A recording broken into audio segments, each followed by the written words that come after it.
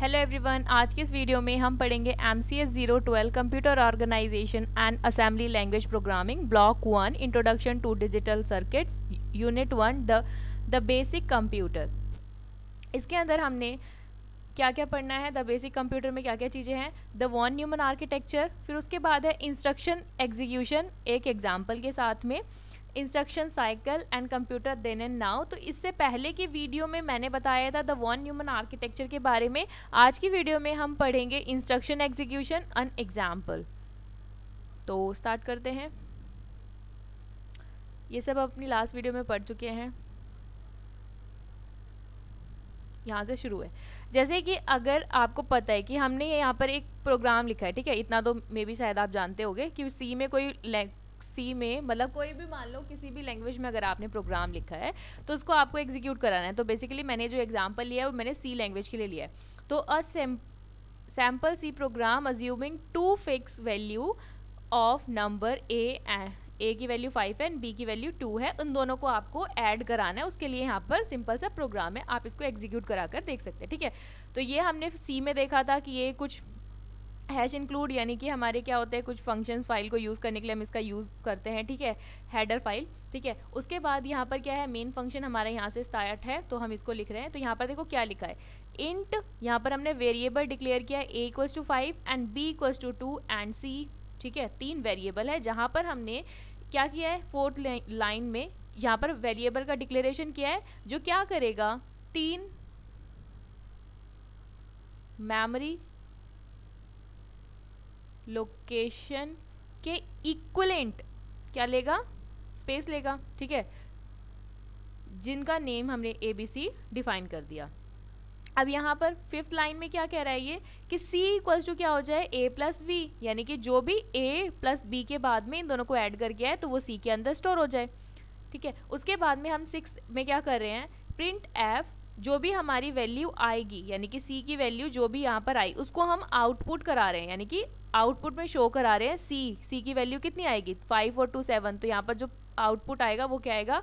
The added value is seven ठीक है? तो ये इस तरह का इसका कुछ आउटपुट आएगा। आउटपुट में क्या वैल्यू आएगी? The added value is seven ठीक है? इस तरह से इसका आउटपुट आएगा। तो ये हमें समझ में आ गया कि किस तरह से हमने प्रोग्राम बनाया। अब इसको जब हम एग्जीक्यूट कराएँगे तो सबसे पहले हमारे पास क्या होना चाहिए? जब अगर आप इसको कंप्यूटर में एग्जीक्यूट कराओगे तो सबसे पहले जो हमारा फ़र्स्ट स्टेप होगा, वो क्या होगा कि हमें इसको कंपाइलर की हेल्प से ठीक है? मतलब जो कंपाइलर होगा, उसकी हेल्प से, इसको कंपाइल करना पड़ेगा, जो हमारा मशीन लैंग्वेज कोड है, उसके अंदर। क्योंकि जो हमारी सी लैंग्वेज है, वो तो हाई लेवल लैंग्वेज है तो उसके अंदर हमने इस प्रोग्राम को लिख दिया। अब ये तो कंप्यूटर को समझ में आएगी नहीं। तो उसको हम क्या करेंगे? मशीन लैंग्वेज में कन्वर्ट करेंगे, ठीक है? कंपाइलर की हेल्प से। तो जब हम इसको हेल्प मतलब उसको कंपाइल कर लेंगे तो उसके बाद में कुछ प्रोसेस होते हैं। जैसे कि सबसे पहले हमें ये पता होना चाहिए कि किस तरह के रजिस्टर होते हैं और वो क्या क्या चीज़ें वैल्यूज़ को स्टोर करके रखते हैं, ठीक है? तो अभी हमने ये ये प्रोग्राम देखा है ना, इसको हम एग्जीक्यूट करेंगे तरीके से, ठीक है? तो उससे पहले कुछ जो नॉलेज है, जो आपको पता होनी चाहिए कि क्या, किस तरह से ये एग्जीक्यूट होता है या फिर इसमें क्या, किस किस चीज़ की रिक्वायरमेंट होती है, क्या ऑपरेंट होता है, क्या ऑप कोड होता है, ठीक है? मेमोरी लोकेशन क्या होती है आई मतलब कोई, कौन से रजिस्टर्स होते हैं, वो सब हमें पता होना चाहिए तो इसलिए मैंने यहाँ पर स्पेस लिया है और हम इसमें यहाँ पे सबसे पहले रजिस्टर देखेंगे कि रजिस्टर क्या, किस तरह से कितनी वैल्यू को होल्ड कराएँगे, ठीक है? तो मान लो कि यहाँ पर आपके पास क्या है, एक मेमोरी है। Four zero nine six multiply sixteen, ठीक है, नंबर ऑफ़ वर्ड्स। ये आपके पास एक मेमोरी है। इस मेमोरी के अंदर जो हमारा ये मेमोरी का साइज़ है ना, वो कितना आएगा हमारे पास? सिक्सटीन बिट्स ठीक है, सिक्सटीन बिट्स आएगा। अब इसके बाद में जब हम इसको मतलब इसके अंदर जो जो चीज़ें होंगी, जैसे कि हम, हमारे पास जो रजिस्टर होगा, ठीक है एड्रेस रजिस्टर तो एड्रेस रजिस्टर के अंदर आपके पास क्या आएगा? वो कितने बिट का होगा? वो ट्वेल्व बिट का होगा। कितने बिट का होगा? ट्वेल्व बिट का होगा। ट्वेल्व बिट जब आप देखो इसको एक्सपेंड करोगे तो यहाँ पर कितना आएगा आपके पास में? इसको जब आप टू की पावर में लिखोगे तो आएगा टू की power twelve four zero nine six को। ठीक है? टू की पावर ट्वेल्व और इसको जब लिखोगे तो ये कितना आएगा? सिक्सटीन को आप लिखोगे तो टू की पावर में कितना लिखोगे? टू की पावर फोर और जब इन दोनों को ऐड करोगे, ठीक है, यानी कि ट्वेल्व और फोर को ऐड करोगे तो ये हमारे पास कितना आएगा? सिक्सटीन बिट मतलब यहाँ पर अब जो मेमोरी यूज़ करें, वो कितने बिट की है? 16 बिट की मेमोरी है, ठीक है? इस तरह से हम मेमोरी निकालते हैं। अब यहाँ पर देखो, जो एड्रेस है ना, वो एड्रेस इसका लेता है, ठीक है? यानी कि ये ये क्या होगा? हमारे एड्रेस में रहेगा। तो ये एड्रेस कहाँ से कहाँ तक लेगा? ट्वेल्व बिट का क्या होगा? एड्रेस होगा। ट्वेल्व बिट एड्रेस में जाएगी तो ज़ीरो से लेकर यहाँ पर कितना जाएगा? इलेवन। तो ज़ीरो से इलेवन आप काउंट करोगे तो ये एड्रेस रजिस्टर में इतना चला जाएगा, ठीक है? एड्रेस रजिस्टर को हम ए आर से शो करते हैं, ठीक है? तो यहाँ पर हमें समझ में आ गया, ठीक है? मतलब यहाँ पर सिर्फ़ एड्रेस जाएगा, ठीक है? ए आर रजिस्टर में ज़ीरो से लेकर इलेवन तक, ठीक है? यानी कि ट्वेल्व बिट स्टोर करेगा। उसके बाद में आपके पास है डेटा रजिस्टर, ठीक है? तो डेटा रजिस्टर क्या स्टोर करेगा? डेटा रजिस्टर स्टोर करेगा कितना? डी आर इसे बोलते हैं, ठीक है? ये कितना बिट लेगा? 16 बिट लेगा, क्योंकि इसको तो पूरा डेटा स्टोर करना है, ठीक है? तो ये कितना लेगा? ज़ीरो से लेकर 15 जब आप ऐड करोगे तो ये 16 बिट हो जाएँगे, ठीक है? उसके बाद है हमारे पास एक्यूमुलेटर तो एक्यूमुलेटर क्या करता है? एक्यूमुलेटर क्या करता है? एक्यूमुलेटर क्या करता है? किस लिए यूज़ होता है? एक्यूमुलेटर रजिस्टर का यूज़ करते हैं हम। जो भी हमारी मतलब थोड़ी देर के लिए वैल्यू को स्टोर कराने के लिए इंटरमीडिएट रिज़ल्ट को स्टोर कराने के लिए हम क्या करते हैं? एकुमुलेटर रजिस्टर का यूज़ करते हैं, जिसको हम ए सी भी बोलते हैं एकुमुलेटर रजिस्टर ठीक है? ये क्या करेगा? पूरा एकुमुलेटर में हमारा डेटा है तो ज़ीरो से लेकर फिफ्टीन तक का पूरा, यानी कि सिक्सटीन बिट का डेटा इसके अंदर होगा।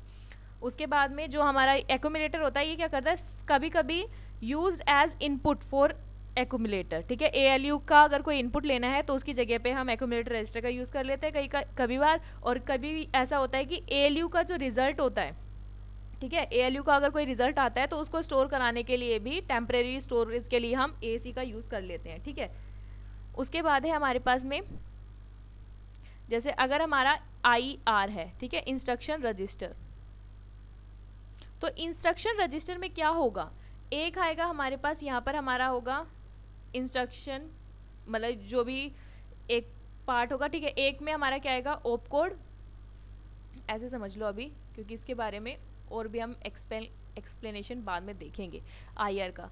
तो यहाँ पर देखो क्या है ओप कोड होगा एक, ठीक है, एक हमारा होगा ऑपरेंट ठीक है तो इसके अंदर क्या है इंस्ट्रक्शन रजिस्टर है तो इंस्ट्रक्शन के अंदर सारी चीज़ आएगी, यानी कि ज़ीरो से लेकर फिफ्टीन तक फिफ्थ मतलब कि सिक्सटीन बिट की इंफॉर्मेशन इसके अंदर जाएगी, ठीक है?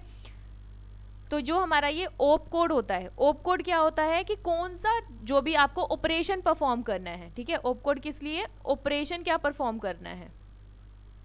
ऑपरेशन जो भी आपको परफॉर्म करना है तो वो ओप कोड में जाएगा।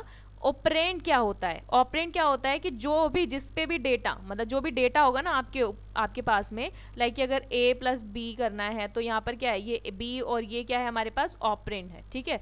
तो ये हमें समझ में आ गया? ये हमारा इंस्ट्रक्शन रजिस्टर है। आई आर ठीक है?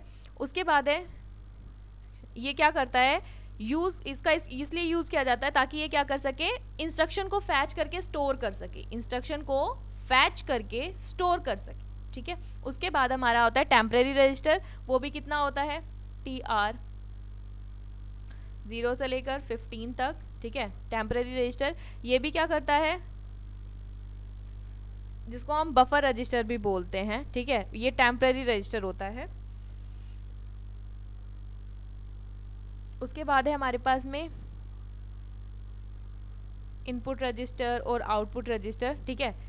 तो अभी हमें इतना जो है, ये इनकी ज़रूरत पड़ेगी जब हम किसी भी पर्टिकुलर इंस्ट्रक्शन को एग्जीक्यूट कराएँगे उसके लिए। तो मैंने यहाँ पर ये बता दिया। तो यहाँ पर जो हमने मेमोरी लिया है ना, वो 16 बिट के लिए लिया है तो उसी को हम यहाँ पर एक्सप्लेन करेंगे, ठीक है? उसी को यूज़ करके जो भी हमारा इंस्ट्रक्शन है, उसको एग्जीक्यूट करेंगे। तो यहाँ देखो, और भी चीज़ें हैं, जैसे कि अभी हमने लोड के बारे में पढ़ना है। कुछ ऑपरेशन कोड हैं, ठीक है? और उनकी डेफिनेशन यहाँ पर लिखी हुई है कि इसका यूज़ किस लिए किया जाता है। तो यहाँ पर लोड का यूज़ क्या, क्यों किया जाता है? Load the accumulator with the content of memory ठीक है मेमोरी के अंदर जो कंटेंट है, वो एकोमुलेटर में लोड कराने के लिए हम लोड इंस्ट्रक्शन का ऑपरेशन का यूज़ करते हैं। स्टोर किस लिए यूज़ होता है? Store the current value of accumulator कि करंट वैल्यू क्या है एक्यूमुलेटर की? उसको स्टोर कराओ किसके अंदर? मेमोरी के अंदर. ऐड किस लिए किया जाता है? Add the value from memory to the accumulator तो अभी जो आपने प्रोग्राम लिखा था, ठीक है, हमने जो प्रोग्राम लिखा था तो उसके अंदर जो लाइन फाइव थी, उसमें हमने लिखा था C equals to A plus B तो यहाँ पर जो हमारा लोड हुआ, वो क्या क्या हुआ? लोड के अंदर क्या हुआ? ए ठीक है? Load the content of memory location A accumulator register में चली जाएगी। फिर उसके बाद में बी मतलब ऐड किया हमने ऐड बी तो add the content of B to content of accumulator and store result in accumulator कि यहाँ पर क्या करेंगे? सीधा हम एक्यूमुलेटर के अंदर जो वैल्यू है, उसको ऐड कर देंगे बी के साथ में, ठीक है? कंटेंट जो भी बी का कंटेंट है, उसको हम ऐड कर देंगे जो एक्यूमुलेटर में पहले से स्टोर है उसके साथ में, और उसके बाद में रिज़ल्ट को स्टोर करा देंगे बी के पास में, ठीक है? एक्यूमुलेटर में। उसके बाद में हम क्या करेंगे? स्टोर तो यहाँ पर जो हमारा एक्यूमुलेटर में जो भी वैल्यू है, उसको स्टोर करा देंगे। Store the content into location C जो भी सी की लोकेशन है, उसके अंदर हम इसको स्टोर करा के रख देंगे, ठीक है? आई होप कि इतना क्लियर हुआ होगा। इसके आगे है, जो भी हमें, अभी हमने देखा, ठीक है, किस तरह से वो जाएगा। तो यहाँ पर देखो 16 बिट की हमने ये ली मेमोरी उसके बाद में ये क्या हमारे पास? ये जो होता है, ये बाइनरी में होता है। यानी कि अगर इसको आप रिप्रेजेंट करेंगे तो इस तरह से लिखेंगे zero zero zero one zero zero zero sorry यहाँ पर वन आएगा। ठीक है तो यहाँ पर इस तरह से ये इन्फॉर्मेशन होगी। तो ये कितना हो जाएगा? वन टू, फोर, एट, ठीक है? एट और टू, टेन हो गए, फोर्टीन और फिफ्टीन, ठीक है? तो यहाँ पर कितना हो गया? इसको हम फोर टाइम्स वन से रिप्रेजेंट करेंगे, ठीक है? तो ये पूरा हो गया सिक्सटीन बिट का इन्फॉर्मेशन यहाँ पर आएगी, ठीक है? ये सब बाइनरी में होता है, ठीक है? यहाँ पर लिखा हुआ है, पर ये बाइनरी में लिखा होता है। अब इसके बाद में यहाँ पर देखो, हमारा जो भी हमने देखा तो ये रजिस्टर किस तरह से काम कर रहे हैं, अब उनको देखते हैं। तो यहाँ पर क्या हमारा ए एल यू है, यहाँ पर ए सी है और यहाँ पर सी यू है, ठीक है? ये तीन चीज़ें होती है हमारी किसके अंदर? सी पी यू के अंदर। ठीक है? A L U accumulator register control signals ठीक है? ये पास करेगा सी यू कंट्रोल यूनिट ठीक है? उसके बाद में ये हमारे कुछ रजिस्टर्स भी उसके अंदर अवेलेबल होते हैं, किसमें? सीपीयू के अंदर।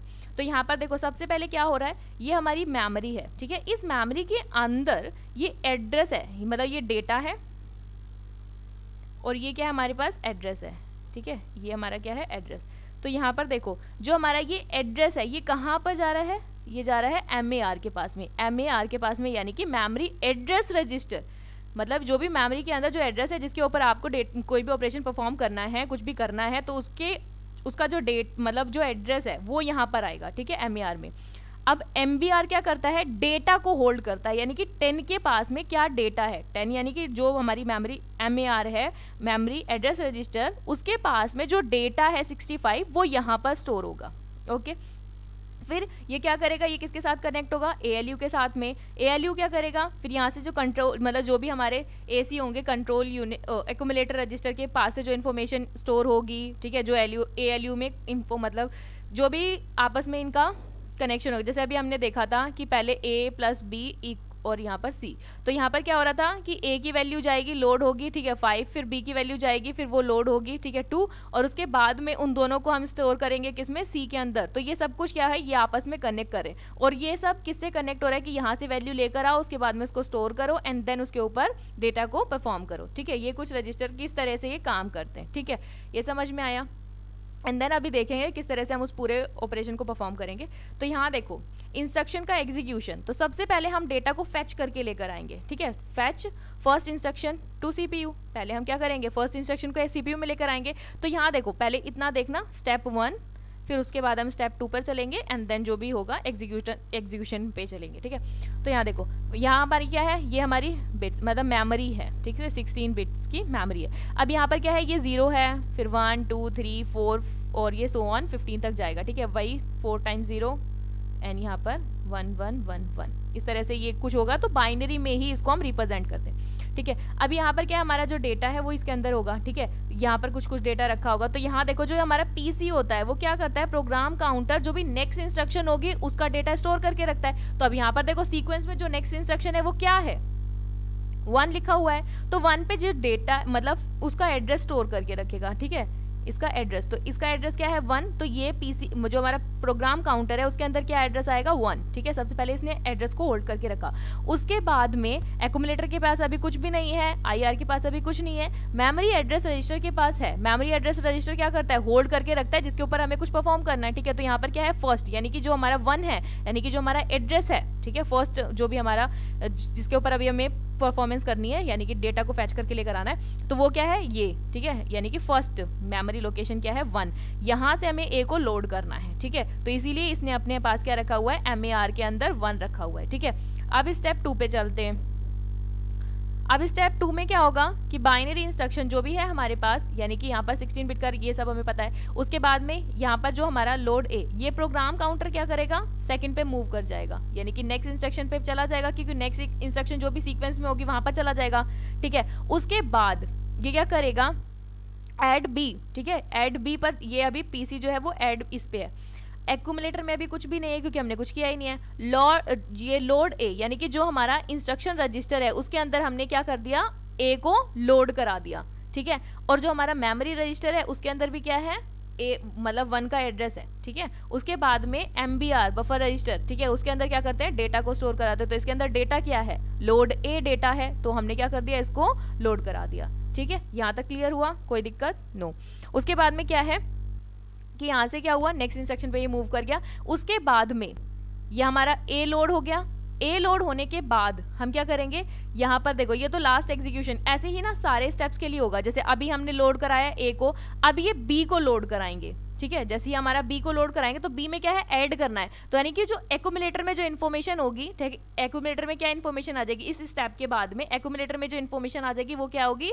ऐड मतलब लोड ए लोड ए कर दिया हमने। अब उसके बाद में जो भी इन्फॉर्मेशन होगी, उसको बी के साथ में ऐड कर देंगे। यानी कि यहाँ पर जो डेटा है, वो क्या है? हमारे पास फाइव है।